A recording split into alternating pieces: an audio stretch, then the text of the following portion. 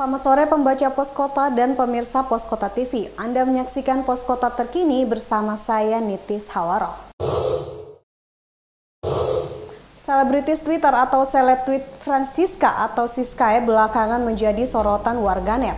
Aksinya menuai kontroversi lantaran menayangkan video pamer payudara dan alat kelamin. Video porno yang beredar di jagat maya dengan durasi 1 menit 23 detik tersebar di media sosial Twitter.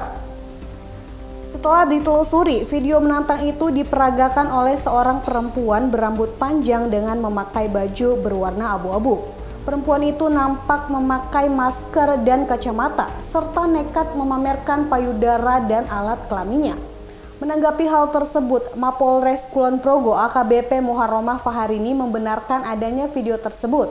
Setelah ditelusuri, kuat dugaan pemeran video tersebut adalah Siskae yang kerap kali membuat konten tak seronok. Berdasarkan informasi yang diperoleh, Siskae mulai eksis sejak tahun 2018.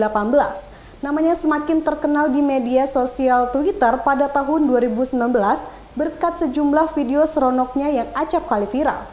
Bahkan, tak jarang membuat konten untuk ngeprank sopir ojek online yang mengajak berhubungan intim. Demikian pos kota terkini, saya Nitis Hawara pamit undur diri, selamat sore dan sampai jumpa.